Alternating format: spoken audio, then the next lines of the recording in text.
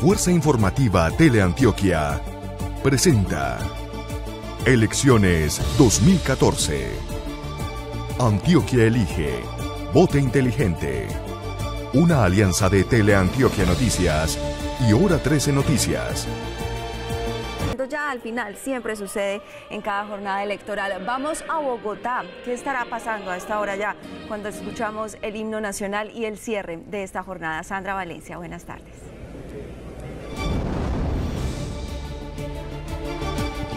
4 de la tarde, tres minutos. A esta hora acaba de cerrarse entonces oficialmente la jornada electoral para presidente en esta jornada de 2014. Estamos saludándolos nuevamente desde aquí, desde la Registraduría Nacional del Estado Civil en Bogotá. 32 millones 925 mil colombianos eran los habilitados para participar en estos comicios electorales. Acaban de finalizar las notas del himno nacional que confirman entonces que ya está oficialmente cerrada esta jornada electoral para 2014. Unas 1.800 comisiones de escrutinios estarán dispuestas en todo el país. Desde las 3 y 30 estaban jueces, notarios y también registradores públicos, quienes eran los encargados precisamente de empezar estos escrutinios que a partir de la reforma de 2011 cambia, porque se hacen inmediatamente, se culmina esta jornada electoral. Desde este momento entonces y hasta las 12 de la noche comienza el conteo de votos. En contados instantes estará en el fondo el registrador Nacional dando todo el reporte de estos comicios electorales. En caso tal de que estos escrutinios no se logren terminar a las 12 de la noche de hoy domingo, continuará la audiencia mañana lunes desde las 8 de la mañana.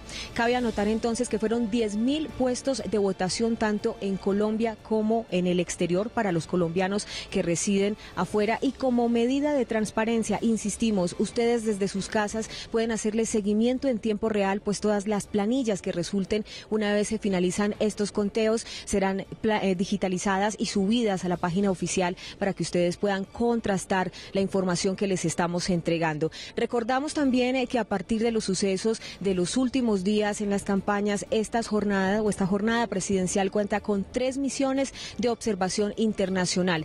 Ellos son funcionarios de la ONU, también tendremos funcionarios de la OEA y por supuesto la Unión Interamericana de Organismos Electorales, la UNIORE, que estarán haciendo seguimiento detallado a que no se presenten irregularidades durante los escrutinios que darán como resultado el presidente de estas elecciones que acabamos de terminar. Además, este año también se tuvo tecnología de biometría en zonas álgidas. Por lo menos unas 3.500 lectores fueron distribuidos en diferentes puestos de votación que tenían alto riesgo de fraude para evitar que se presentaran suplantaciones o que, como en otras oportunidades, votaran también personas que ya habían fallecido y sus cédulas eran utilizadas ilegalmente para sufragar. Así que cerca de 3.500 lectores que estaban también mm, contrastando las huellas digitales fueron las que se usaron. Además, para evitar la alteración de esos formularios de los que los hablo, de los E14, se harán tres copias cada vez que se termine el conteo o el escrutinio que se hace en el puesto de votación, en cada mesa de votación,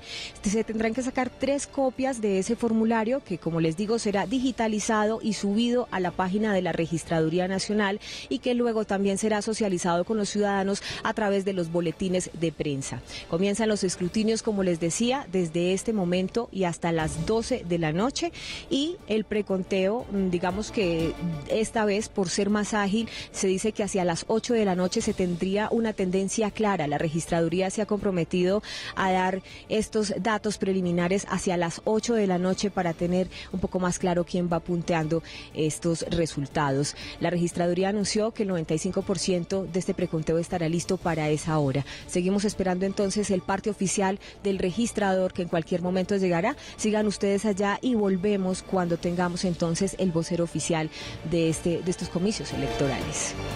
Más adelante regresamos con usted allá a la capital del país, con ese experto que también nos va a estar entregando más detalles. Le sumo incluso a los datos que usted nos entregaba, 586 mil ciudadanos.